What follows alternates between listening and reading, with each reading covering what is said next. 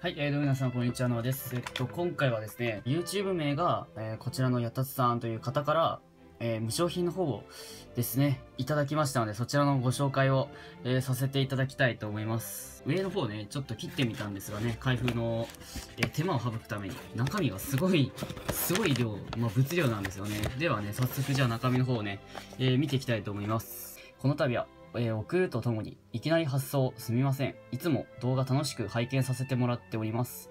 えー、これからも頑張ってください。それと最後に、と書いてあるのは、まあ最後に、えー、字が汚くてすみません。やたつさんよりですね、え最後にという風に書いてあるものは、え最後に、えまあ文字通りね、開けてくださいということですかね。はい、えー、サマは、あの、大丈夫です。3で普通にね、えー、大丈夫なんで。いや、字汚くないですよ。全然、あのー、綺麗ですよ、筆記体みたいで。はい、ということで、えー、先ほどのですね、えー、こちらから、え中身をね、え出させていただきました。メインという風に書かれた、まずトランクス青年期の、えシークレット。確か、9、何段だったかな ?9、4段かな？えのシークレットなんですけど、えーと、こちらですね、えー、旧4段のシークレットのトランクス青年期のスーパーサイヤ人3ですね。えー、まあ、ドラゴンボールヒーローズ初のオリキャラですね。えー、オリジナルキャラクター。ということで、まあ、スーパーサイヤ人3ね、実際はなれないんですが、そこを、まあ、ヒーローズが、えー、作ったオリジナルキャラクターで、まあ、初参戦した時が、旧3弾ですね。えー、こちらは、大切にね、えー、もちろん、えっ、と、シークレット入れので、ケースの方に入れさせていただきます。で、まずこちらがメインの品です。で、えー、続いてですね、まあ、オリジナルパックの方がですね、はい、このように、まあ、すごいいっぱい入っているんで、まあ、これをね、1個ずつじゃあ、開けていきたいと思います。じゃあ、まずはね、えー、1パック目。えー、孫悟天 GT の顧問がね、見えてますね。えー、というわけで、まずは1パック目から開封。おデュエルマスターズかな？これは、あれかな？これも一応、えーと、オリパの内容というか、まあ、あれかな？孫悟天 GT で、えー、魔人ブーゼンのレアで、孫悟飯少年期、今回の SR ですね。で、えー、アボの SR、これも今回の。えー、そしてトランクスゼノの、あ、プロモーションですね。こちらは、まあ、持ってなかったですね。これは何のやつかな ?GDPB-C306。いや、わからないですね。えー、トランクスゼノの、えー、プロモーションで、デュエマのカードですね。えー、1泊目の内容はまずこんな感じです。はい、えーと、続いて2パック目、えー、開封していきたいと思います。ちょっと最後のデュエマのカードだけ、えーと、取れないんですよね えー、まずは亀仙人のゴッドミッション4弾の、えー、コモン。で、えー、6弾のゴッドミッション6弾の、えー、スラックのレア。レアかな。で、えー、孫悟飯青年期じゃない、未来の、えー、こちらは今弾のね、えー、ゴッドカメハメハと逆境を超える力のね、えー、同じくね、えー、今弾の SR の孫悟空。で、トランクスゼノですね。これはプロモーションですね。えっ、ー、と、いつのやつだったかな？これは最近のブースターパックのトランクスゼノ。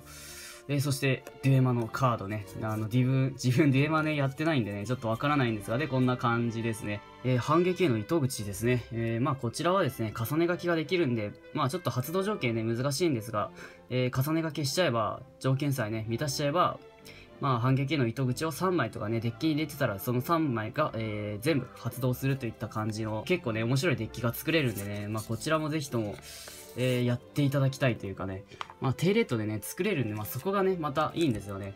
で、続いて、えー、3パック目です。えー、まずはね、バーダックの、えー、不意打ちのやつが見えてますが、えー、最後がね、デュエマの、えー、悪夢って書いてありますがね、デュエマ、自分はね、あのー、遊戯王はやってたんですけど、デュエマはやったことないんですよ。で、まずはね、風一のバーダック。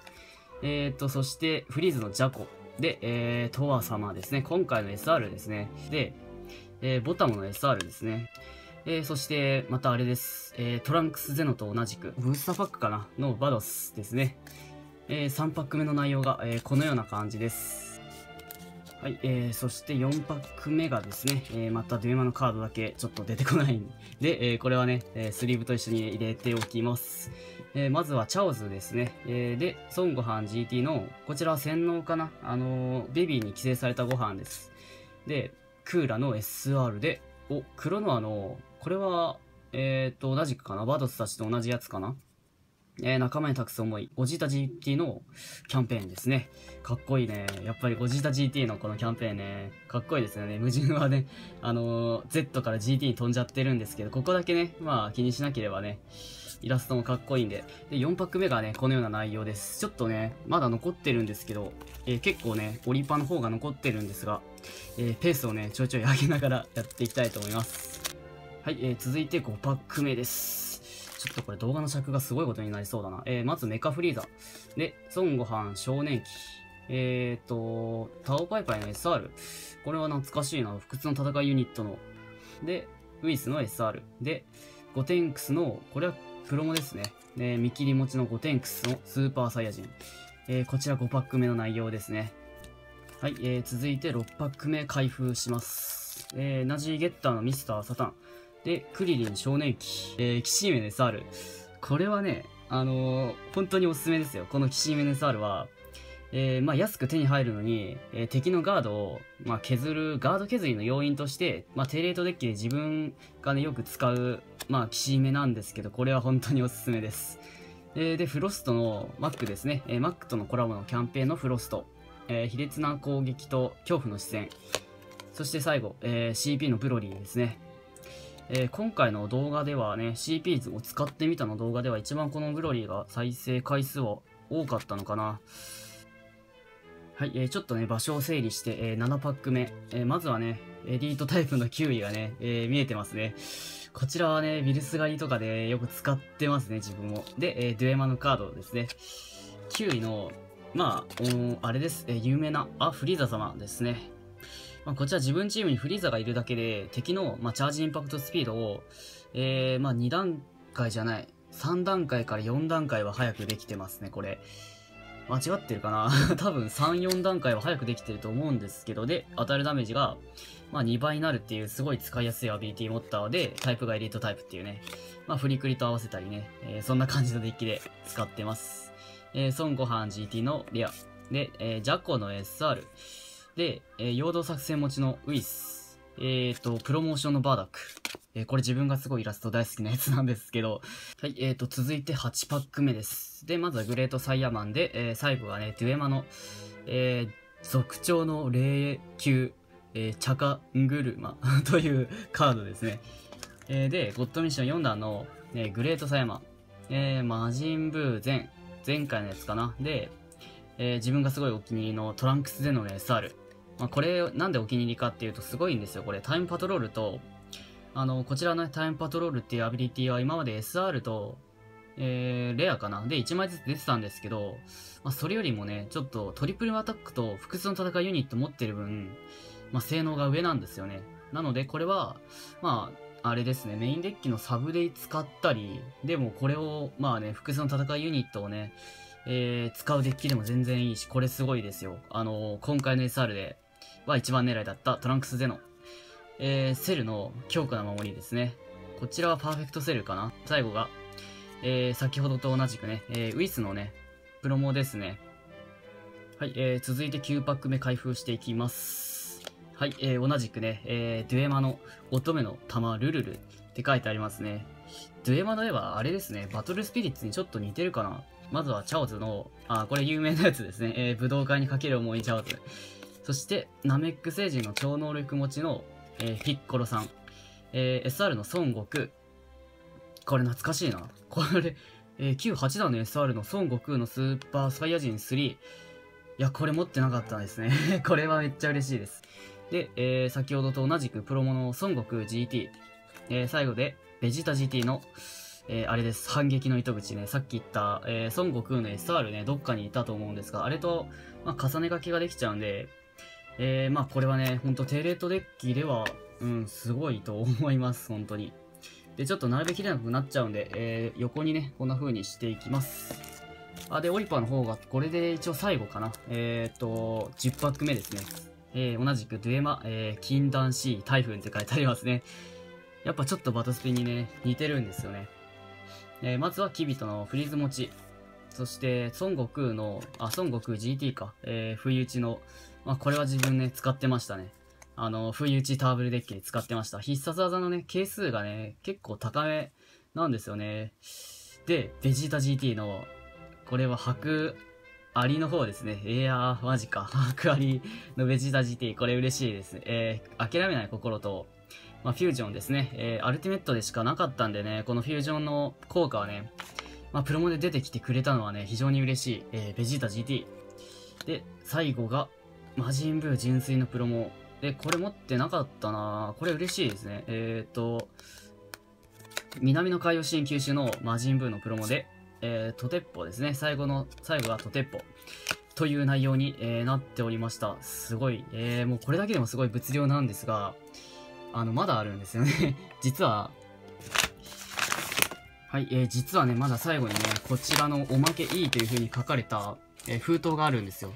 で、これをね、えー、早速、はい、えー、開けていきたいと思います。なんでしょうね、もうこれだけでも、あのー、もの すごい十分な、え、量なんですが、何かな？ん？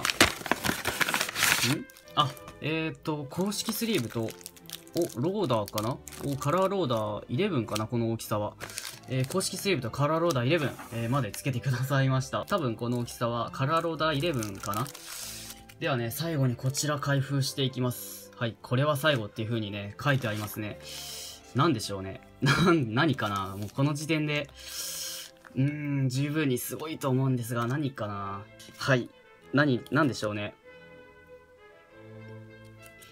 えー、まあ、とりあえず、クレヨンの先ほどのオリ、オリカじゃないや、えー、スリーブと、えー、デュエマのカードですね。とりあえずね、こちらは見えてますが、えー、っと、何か、これはあんまり枚数というか、1枚かな？ヒーローズのカードは1枚っぽいな。で、えー、っとね、スリーブに入ってるのかなこれは。デュエマのカード、ジェットボルカって書いてありますね。かわいいですね、これ。で、んー、何かな？なんか1枚ですね、これ。えー、またデュエマのカードがまず入っていて、どんな風に開ければいいかな？じゃあ3、2、1でね、えー、いきたいと思います。3、2、1。ジか。マジか。ちょっと一瞬時間が止ま、マジンドミグラーですマジっすか？大丈夫ですか？混乱のシークレットですよ、これ。魔人ドミグラの巨大化ですね。もう言葉が出てこない、まず。えー、で、ジェットボルか、えー、先ほどの、あれかな？白足、白アリみたいな感じかな？ちょっと色違いというかね、メタリックになった、えー、こちらがついていました。で、魔人ドミグラのシークレットですね。いやまあ、申し訳ないな。これはさすがに申し訳ない。あの、メインでもね、シークレットレアの、こちらトランクス青年期いただいてるんで、これはちょっと申し訳ないですよ。はい、えー、というわけでですね、えー、最後の最後にね、やばいやつが、まあ、控えていたんですが、カード精度をね、はい、えー、カード性能、アビリティが1ラウンド目終了時、自分のパワーが永続で、えー、2倍になる。さらに、自分の与えたダメージが5000以上、あ、自分チームの与えたダメージが5000以上の場合は、効果が超アップする。で、こちらの効果が超アップするは、えー、正確に言うとパワーがね、5倍に、えー、跳ね上がります。2倍から一気に5倍っていうね、やばいです。あの、元のパワーが6100あるんで、まあ、万が一パワーをね、ちょっとでも下げられたとしても5倍になるんで、えー、1万5000、またはね、パワー2万超えはもう超簡単に狙えちゃうっていう、えー、メタルクーラーに、まあ、続くパワーアップの、うん、簡単にね、パワーを壁越えできる巨大化キャラ。で、巨大化した時の効果がですね、えー、与えるダメージプラス3000なんですよ。で、メタルクーラー確か敵チームのエナジーを3つ削るだったかな。ね、破壊の巨大化かなあれだったんで、これだと、えー、火力が断然こっちの方が上なんですよ あの、必殺技の係数も、あの、巨大化キャラでもね、必殺技の係数があるんですが、そちらがメタルクーラーのスーパービッグノバがまあ、ちょっと感覚的にね、結構係数低めなんですけど、まあ、こちらの、えー、ブラッディソースじゃなくて、何だったかなちょっと必殺技名ね、ド忘れしちゃったんですが、あちらは、なかなか必殺技の係数が高めなんで、えー、威力のことですね。そちらが高めなんで、これはもう巨大化キャラでは過去最高レベルの、まあ、火力が出せるカードなんじゃないかなと思います。これを超える火力のね、えー、巨大化キャラでね、火力を出せるキャラはもう出ないかなとは思ってるんですがね。まあどうですかね。えー、こちら、えー、いただいてしまいました。もう、お返しの方はね、本当にきっちり、えー、させていただくので、えー、やたつさんね、えー、楽しみに待っていてください。というわけでね、えっ、と、今回はものすごい、えー、動画の尺が長くなってしまったんですが、開封させていただきました。えー、送ってくださった方はですね、えー、やたつさんです。えー、こちらの方のチャンネルの URL は、えー、説明欄の方に貼っておきますので、えー、ぜひともね、チャンネル登録の方ね、そちらの方、えー、よろしくお願いいたします。はい、それではね、今回この辺りで失礼させていただきます。ご視聴ありがとうございました。